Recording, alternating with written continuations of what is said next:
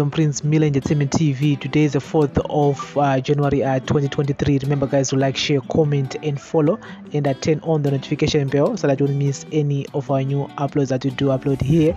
So, guys, here's the latest latest uh, quick update. High Court Judge uh, Justice uh, Samuel Deme has uh, dismissed jailed Citizens Coalition for Change Triple C lawmaker Job Sikhala bail up appeal.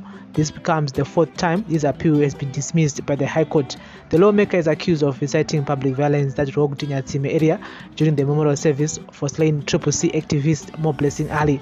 Previously, Sikhala was consecutively denied bail on grounds that he would reoffend considering that he has been arrested on similar allegations 63 times before without a single conviction. Full judgment outline reasons for appeal dismissal is yet to be released. The High Court has dismissed uh, Honorable Job Scala's bail appeal. We won't stop demanding and fighting for his freedom. He is innocent. Bail is a constitutional right said Triple C spokesperson uh, Fadzayi Mahere. So, guys, that's the latest here. Yes, uh, his bail has been denied again. And so we're gonna be keeping you guys up to date with the latest Prince Miller Entertainment TV.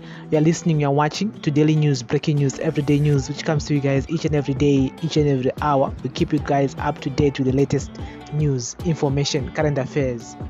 Thank you for listening and watching. Bless up.